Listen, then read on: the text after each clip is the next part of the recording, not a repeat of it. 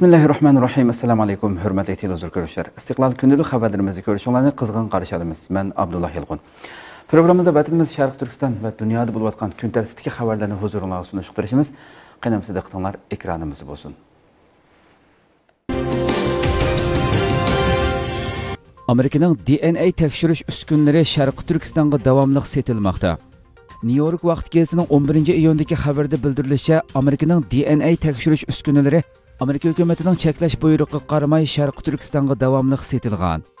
Xitoyning sharqi turkistondagi irqiy qirg'inchilik jinoyati jumladan sharqi turkiston xalqining gen uchurini umumyuzlik to'plashi xalqaroning diqqatini tortishga boshlagandan buyon amerika hukumati amerika shirkatlarining sharqi turkistondagi xitoy doirlariga dna tekshirish uskunasi va boshqa aloqador mahsulotlarni setishni to'sish uchun harakat qilgan.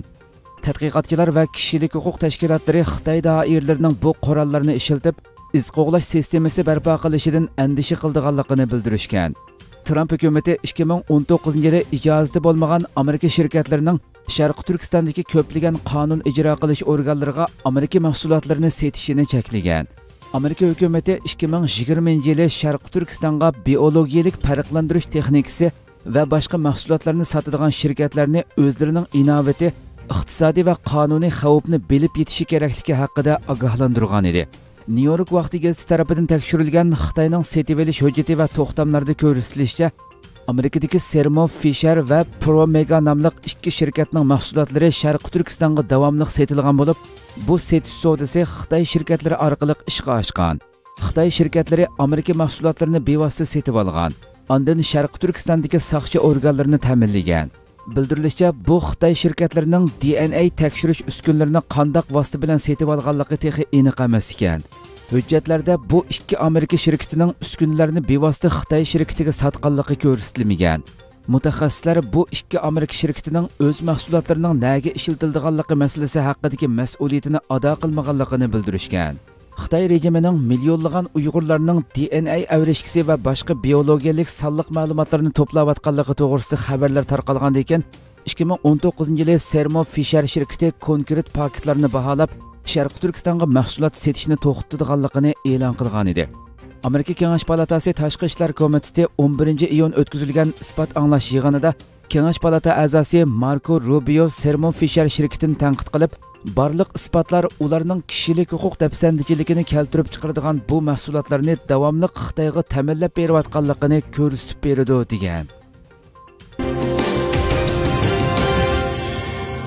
Qozog'iston xalqi xitoyga norozilik bildirdi. Xitoyning o'rta osiyodagi qarz tuziqi va shakli o'zgargan kengaymachilik harakatlari yerlik xalqlarning g'azabini qo'zg'ayotgan bir mezgilda bir bo'lak qozog'iston xalqi xitoyning qozog'iston ziminni egillash qilmishiga norozilik bildirgan. Bugun markazimizga avatilgan bir sindin ma'lum bo'lishicha olmuta shahri ambakshi qozoq oblastida xitoy ilgari setib olgan bir yerning atrofini to'mir reshatka va sim to'rlar bilan qo'rshab to'sib olgan bo'lib yerlik xalq xitoyning qozog'istonning ziminini egilib olish qilmishiga norozilik bildirgan. Norozilik bildirguvchilar bu yil may oyida qozog'istonning chet elliklarga bo'libmi xitoyga zimin setib bermaslik haqida chiqargan qonunni tilga elib qozog'iston prezidenti va hukumatining mazkur qonunni ijro qilmaganligiga norozilik bildirgan. Ular qozog'iston hukumati va prezidentiga savol qo'yib sizlar xitoyga yer setib bermaslik haqida qonun chiqardinglar. Yana xitoyga yer setilibdi. Sizlarning qaysi gapinglar rost? Xitoy bizning ziminimizni egilib oldi. Bularga kim ruxsat berdi? degan. Norozilik bildirguvchilar yana xitoy bizning ziminimizni besib olishga boshladi. Xitoyni 20 yil emas 20 minutmi qozog'iston ziminda turg'izishga bo'lmaydi. Ay qozoq xalqi xitoydan qo'rqmanglar. Uyg'oninglar degan va turli shuarlarni tovlashgan. Ular yana xitoy qozog'iston zimindan chiqib ketmagan taqdirda necha million qozoq xalqining bu yerga kelib norozilik bildirdiganligini aytgan va turli shuarlarni tovlashgan.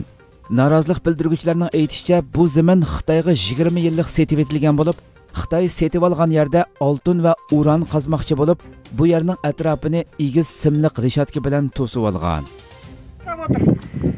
Xitoydan musorini sotib o'tir al xitoy bizning oltin men banklarni бүкіл осы таудан таппақ. Байлықты. Потому что олар біздің жерімізді басып алады. Қытайды жиырма жылға емес жиырма минутқа кіргізуге болмайды.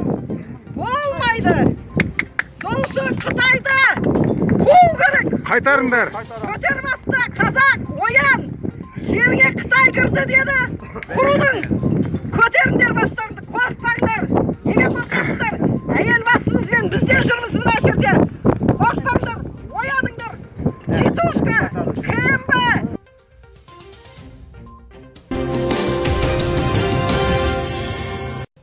amerika xitoydagi yadro eqib ketish ahvolini tekshirgan yevropa xabarlari to'rining bugungi xabarda bildirilishicha amerika xitoyning yadro elektr stansiyasidagi yadro eqib ketish vaqasini tekshirib baholab chiqqan. Xabarda qayd qilinishicha aumin xong kong qatorliq nupusi ko'p shaharlarga intayin yaqin bo'lgan tayshan yadro elektr stansiyasining dokladida radio tahdidi haqida ogohlantirish berilgan.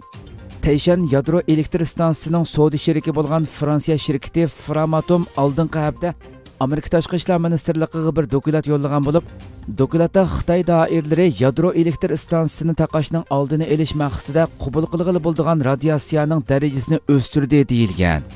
Bildirilishicha amerika xitoyning janubiga joylashgan yadro elektr stansiyasida yadro eqib ketish ehtimolligi borligi to'g'risidagi dokumentlarni tekshirishga boshlagan. Ma'lum bo'lishicha bayden hukumati rayondagi vaziyatni tekshirgan bo'lsimi ammo yadro elektr stansiyasining krizis deb qaralg'udak radiatsiya saviyasiga yetmaganligi va zavod ishchilariga xatar elib kelmaydiganligi ko'rsatilgan. Amerika radio televiziya shirkati cnnning xabarida garchi amerika amaldorlari ansiraydigan krizis yo'qligini o'ttirg'a qo'ygan bo'lsimi ammo xitoyda sheriklik munosabati bor chet el shirkatining amerika hukumatidan bu masalada yordam so'rashi normal ahvol emas deyilgan. Davlat xavfsizlik komiteti amerikadagi yuqori darajalik davlat amaldorlarining ishtirok qilishi bilan oldingi bir haftadala ikki qatim yig'in ochgan bo'lib bu masalaning fransiya doiralari bilan muzokara qilinganligi va ularning xitoy bilan aloqalashganligi bildirilgan. Mutaxassislarning mo'ljallashicha yadro eqib ketish vaqasi kelgusida amerika hukumatini qiyin ahvolga tushirib qo'yishi mumkin ekan.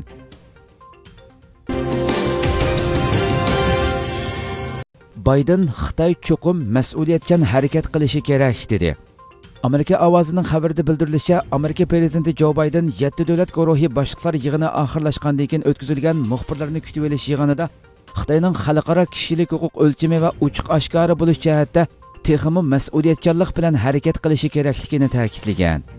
Xabarda qayd qilinishicha bayden oldingi qatim yetti davlat guruhi yig'inida xitoyning tilga ilinmaganligini ammo bu qatim tilga ilinganligini buningdan mamnun bo'lganligini bildirgan. Yetti davlat guruhi yig'inida xitoyning kishilik huquq dafsandichiligi jumladan sharqi turkistondagi uyg'ur qatorliq millatlarga va xong kongdagi demokratiyaga qarshi bostirish qilmishlari aniq o'tirg'a qo'yilgan. Yetti davlat guruhi yig'inining bayonotida yetti davlat guruhi dunyo iqtisodining odil va oshkora davomlashayotgan savdosiga buzg'unchilik qildigan qonunsiz bozor siyosati va qilmishlarga qarshi uchun kollektiv tadbirlar ustida davomli kengashidi deyilgan. Yig'inda xitoy kishilik huquq va erkinlikka hurmat qilishga bo'libmi xitoy angliya birlashma xitobnomasi va asosiy qonunda bekitilgan xonkongliklarning huquqi erkinligi va yuksak avtonomiya huquqiga rioya qilishga chaqirilgan. Ma'lum bo'lishicha yetti davlat guruhi xitoyning bir balvoq bir yo'l savdo planiga qarshi loyihalangan texmi yaxshi dunyo barpo qilish nomli tuvan kirimlik va o'ttiri kirimlik davlatlarning ul aslahalariga mablag' selish hamda mablag'ini yurishtirish haqida yangi mexanizm e'lon qilgan. Lekin mazkur mablag' turining doirasi va manbasi aniq emas ekan. Xitoy taraf yakshanba kuni yetti davlat guruhining xitoy haqidagi tadbirlariga qarata xalqaroliq masalalarda bir qism davlatlar qaror chiqarib hukmronlik qiladigan davr allaqachon o'tib ketdi deb hakovirlarcha inkos qaytirgan.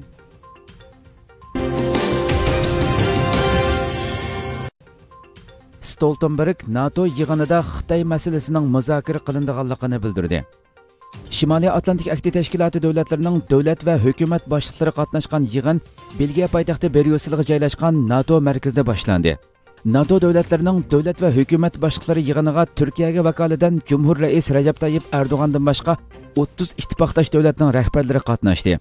Yig'inning kun tartibida ittifoqning kelgusi 10 yillik plan loyihasini belgilash natoning strategik ufqumini yangilash xitoyning bosh ko'tarishi yaqinqi yillarda borgansiri yiriklashayotgan rossiya bilan bo'lgan munosabatlar va ukraina masalasi internet tor tahdidlari terrorlikqa qarshi kurash vayron qilish xarakterlik texnologiyalar klimat o'zgarishining xavfsizlikka ko'rsatadigan ta'sirlari va afg'onistondagi nato qismlarini chekindirish qaroridan keyingi vaziyat qatorliq temalar bor nato bosh kotibi stoltenberg belgiya poytaxti bryusselda o'tkazilgan nato oliy rahbarlar yig'ini uchun nato markaziga kelganda bayonot e'lon qildi.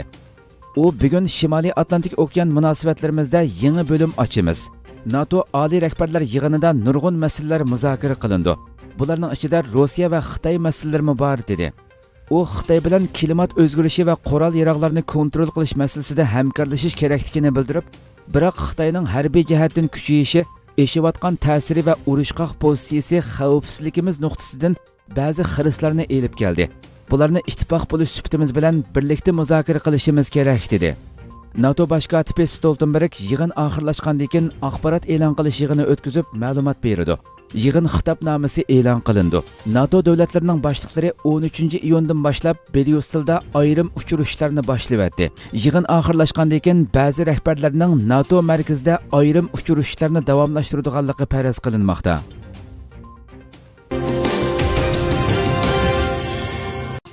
G7 rahbarlari Xitoyning bir balvoq bir yo'l loyihasiga qarshi yangi loyiha kelishimi imzoladi.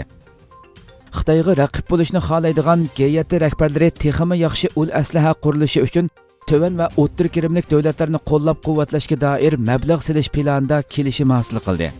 G7 davlatlari tarafidan e'lon qilingan bayonotda beyjingning bir balvoq bir yo'l loyihasiga raqib bo'ladigan shaklda o'ttir va tuvan kirimlik davlatlarning texmi yaxshi ul aslaha qurilishiga yordam qilish maqsadida mablag' silish planini tuzib chiqish kelishimi hosil qilinganligi bildirildi.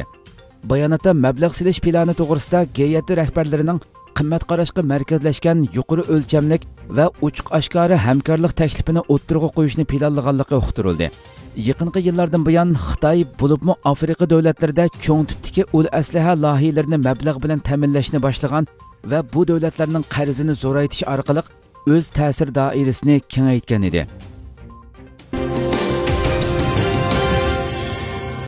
Jo Bayden Xitoy va Tayvan bo'g'ozining muqimligi qatorliq masalalarni muzokaralashdi.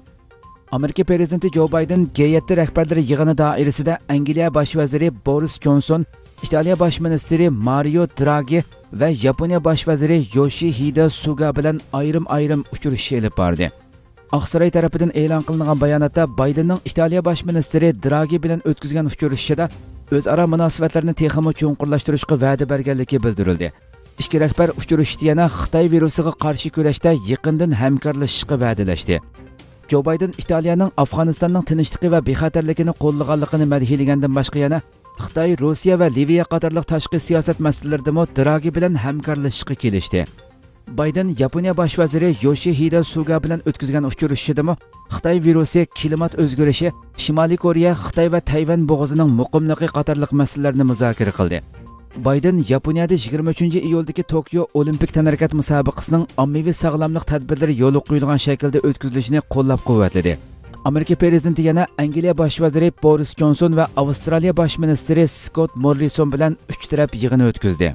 Angliya bosh ministerligi 10 nomerlik ishxonasining yozim bayonotida uch taraf suhbatida hindiy okean va tinch okean rayonini o'z ichiga olgan bir qator masalalarning muzokara qilinganligi bildirildi bayonotda rahbarlarning hindi okean va tinch okeandagi strategiyalik bog'lanishining o'zgarayotganligi shunga uch hukumat o'rtasidagi hamkorlikni cho'nqurlashtirish uchun kuchlik asos borligiga doir kelishim hosil qilinganligi uqtirildi jonson boshliqlar yig'ini doirasida germaniya bosh ministri angela merkel fransiya prezidenti emmanuel makron va yevropa ittifoqi komiteti raisi ursula fon der leyn bilan shimoliy irlandiya kelishimnomasining yo'liga qo'yilishi to'g'risidagi tushunilmasliklarni muzokaralashdi hurmatli televizor ko'ruvchilar shunday qilib bugungi xabarlarimiz mush yerda oxirlashdi. Inshaalloh atigi xabarimizni ko'rishgacha sizlarni janobiy alloh topshiramiz. Shunday qilib programma oxirida ekran orqasidagi barliq xizmatdoshlarimga ko'pdan ko'p rahmat aytaman. Assalomu alaykum va rahmatulloh.